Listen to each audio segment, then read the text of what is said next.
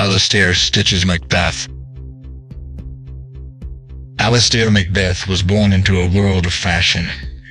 His mother was a renowned designer and his father a wealthy businessman. From a young age, Alistair was exposed to the extravagant lifestyle of the rich and famous.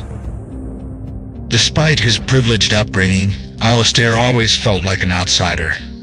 He was drawn to darker Gothic styles, which clashed with his family's image. His parents constantly belittled his passion for fashion, calling it a waste of time.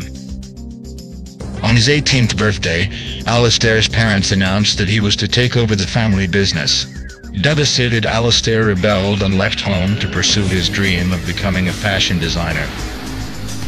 Alistair struggled to make ends meet, working odd jobs and living in a run-down apartment.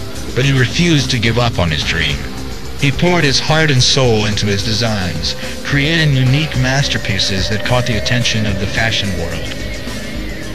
As his designs gained popularity, Alistair gained confidence and embraced his Gothic style.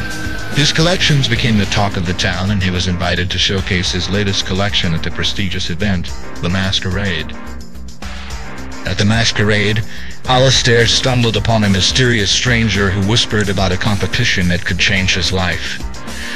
The competition was called the Dark Runways, and the prize was a rare black diamond known as the Shadow Stone that had the power to grant any wish.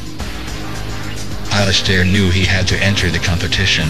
The chance to win the Shadow Stone and have his dream come true was too tempting to resist. And so, Alistair Stitches Macbeth entered the competition, ready to take on any challenge to claim the prize.